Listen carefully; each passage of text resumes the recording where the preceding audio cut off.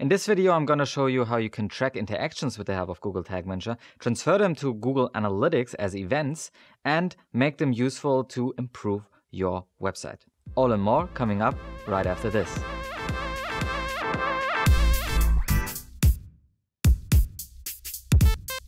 Hi there and welcome to another video of MeasureSchool.com where we teach you the data-driven way of digital marketing.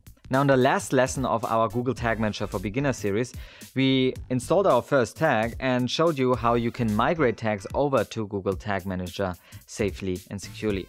In this lesson, we're going to talk about my favorite feature of Google Tag Manager and frankly what Google Tag Manager is best known for, and this is the interaction tracking via auto event triggers.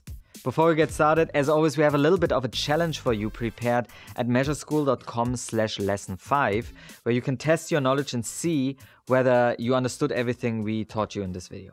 But now, we got lots to cover. Let's get started. Back at our demo shop, before we start talking about how we can pick up interactions with the help of Google Tag Manager, we actually need to talk about triggers. What are triggers?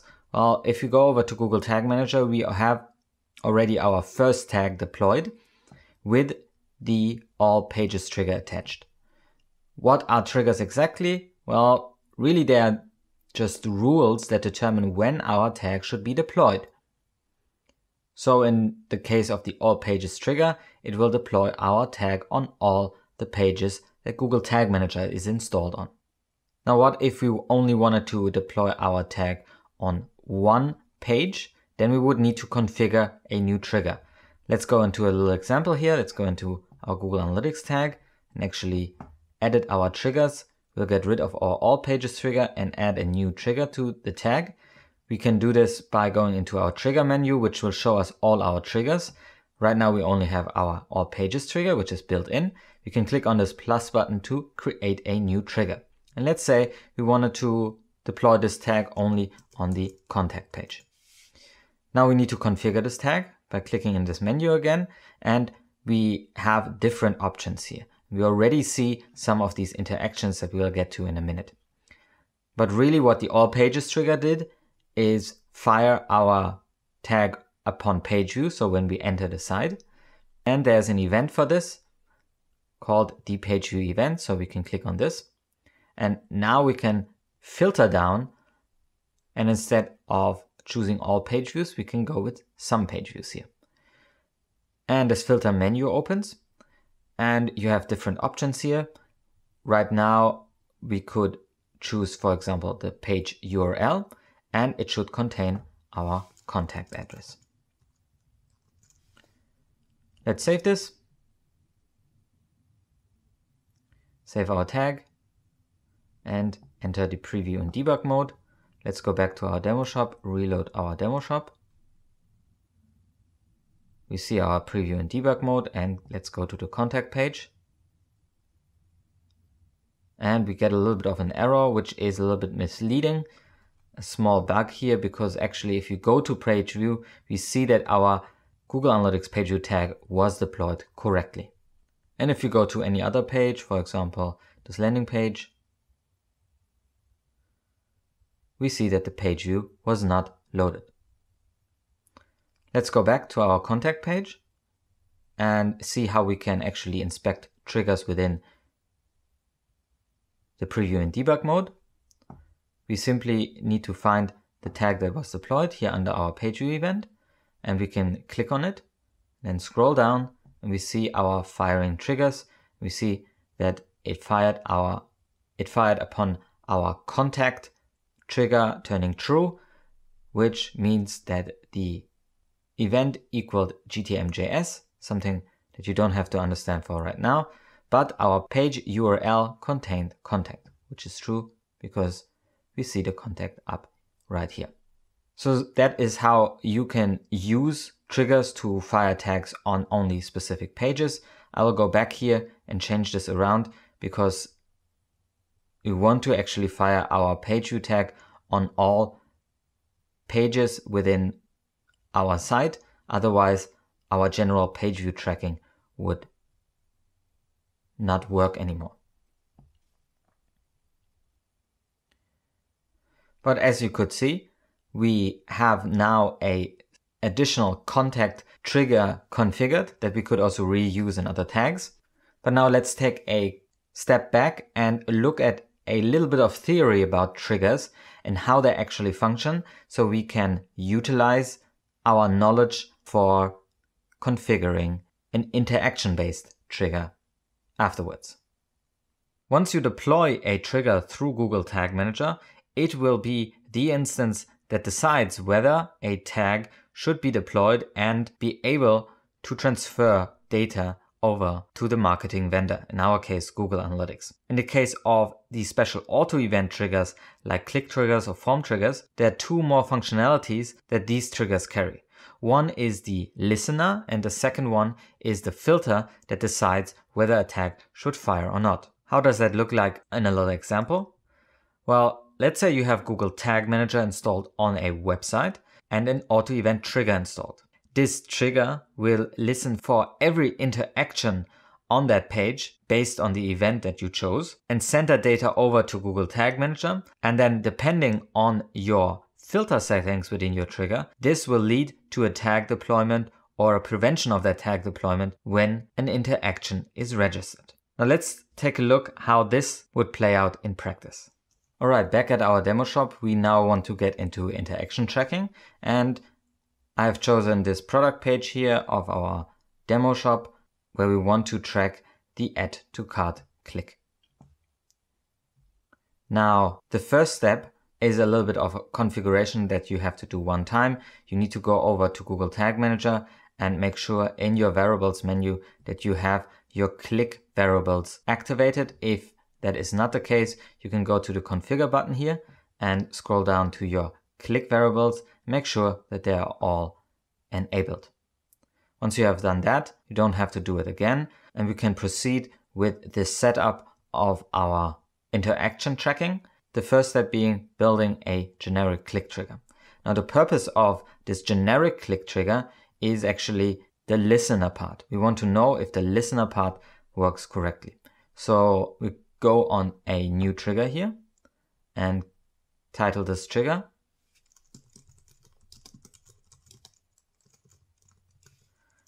and go into the configurations and we'll choose all elements because our button is not a link. So we'll go with all elements here.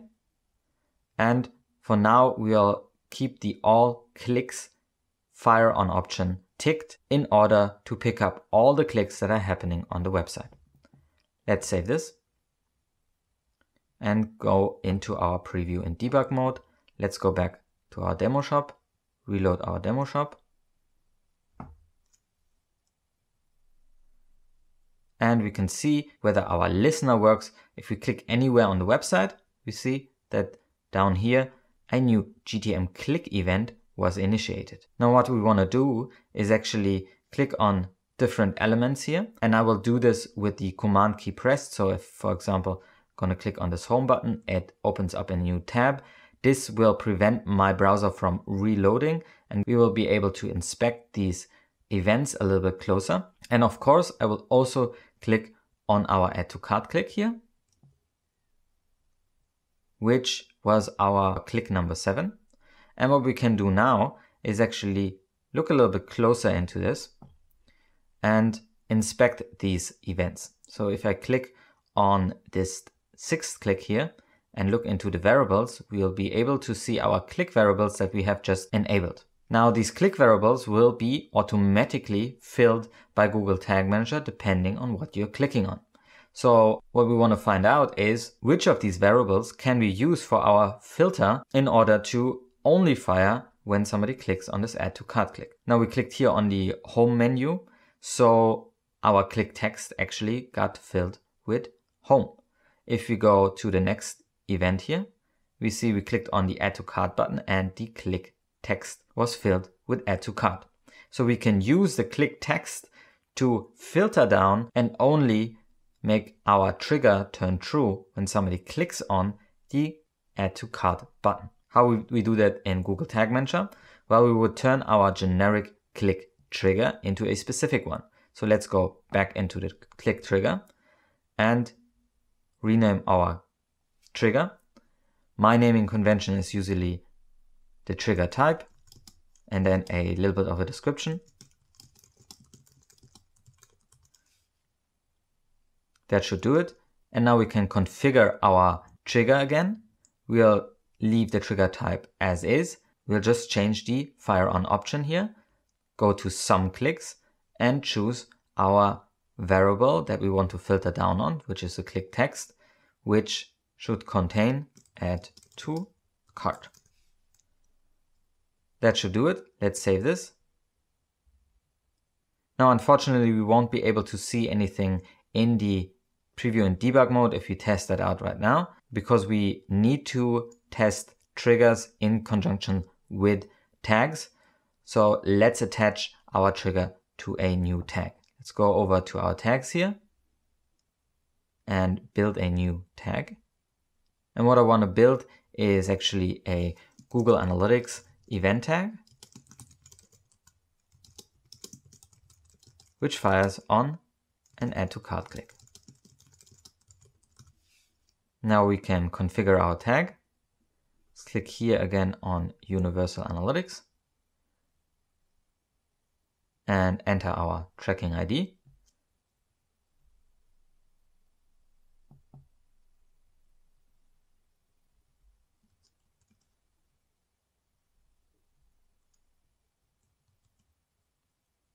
Instead of the track type being page view, it makes sense to send interaction data to Google Analytics via the event type. So we go with event tracking here. And there are a few more things to fill out. The category and the action. This is specific to Google Analytics. If you would use a different web analytics tool, then there might be other configurations that you would need to take care of. This should do it. Now all we need to do is attach a trigger and we can choose our click, the add to cart click trigger. Let's save this. And refresh our preview and debug mode. Go back to our product page here in our demo shop. Let's reload that. And let's for first do the negative test. I'm gonna click on this home button. Let's see if anything fires. Nothing fired on this event. And now let's click on the add to cart button. Let's see if anything fired. Yes, as expected, our Google Analytics event tag fired. Now we will be able to see that also in our, our extension of the Google Tag Assistant. In Google Analytics, we see here one event fired, so that should work. If you go back to Google Analytics directly into our reporting and go into the real-time reporting, we should also be able to see that and here is our event that was just sent over. So this works as expected and we have successfully built in our first interaction tracking event with the help of Google Tag Manager. In the end, we'll be able to publish this as a version to all our users.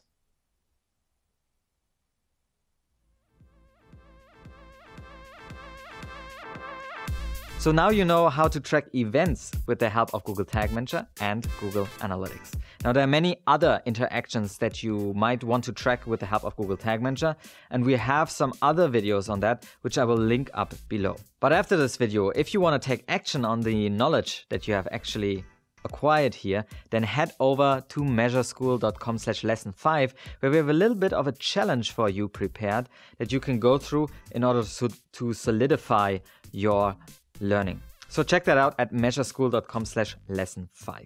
And if you like this video, then join me at the next lesson where we're really going to talk about the most important interaction that you should be tracking, which are your conversions.